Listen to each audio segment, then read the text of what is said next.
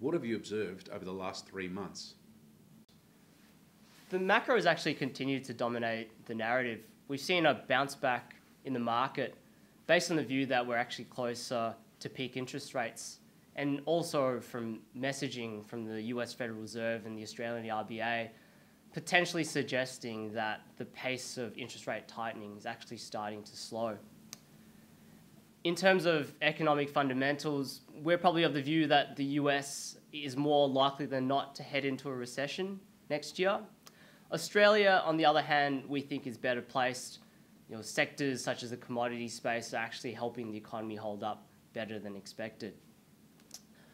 But at its core, we're fundamental bottom-up stock pickers, and as a team, we've been busy um, traveling extensively across Australia, meeting many of the portfolio companies, and as well turning over new stones.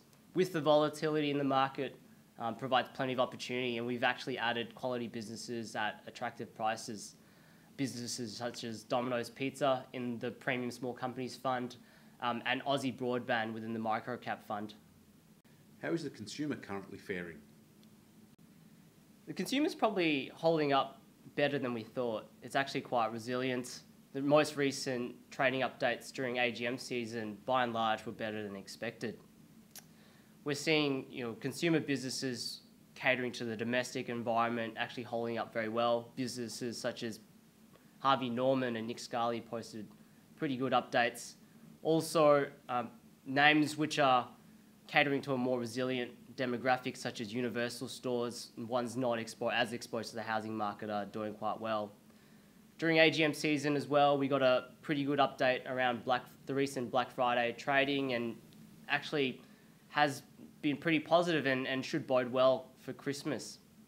That being said, however, you know, our view is that the environment's likely to continue to be tough, particularly as the impact of interest rates start to bite the consumer and I think you've also seen this message from um, companies within the consumer space as well. Many have provided first half guidance, however, haven't actually provided an update um, in terms of their view around the full year. What are the key risks that companies are facing in their outlook? I think, just to reiterate Aaron's point, currently the consumer is still strong and the demand environment is healthy with consumers putting their hands in their pockets, they're buying goods for Christmas, they're still going to the gym and they're buying flights. Having said that, rising cost of living and higher mortgage rates are likely to have an impact on this, and we think this will turn eventually in calendar year 23. The other factors we're thinking carefully about when we talk to companies are really the impacts that cost inflation are having on their margins. For example, uh, wages and the supply of labour is a key factor, and I think this is having impacts at companies which are labour intensive. Furthermore, uh, supply chains are also having an impact, and we touched on this at our last chat, but since then we've seen container rates, the cost of bringing containers from offshore into Australia has moderated back to below pre-pandemic levels. However, this has sort of been offset to some extent by internal freight rates that are higher due to higher diesel prices and a shortage of truck drivers. Um, other factors, other costs such as the higher cost of debt, which is higher now as cash rates have moved up, uh, that's having an impact at the interest cost line for companies which have uh, large borrowings. And we suspect that this, the, the sell side probably hasn't modelled this fully, and we think there is a potential for further downgrades uh, post results.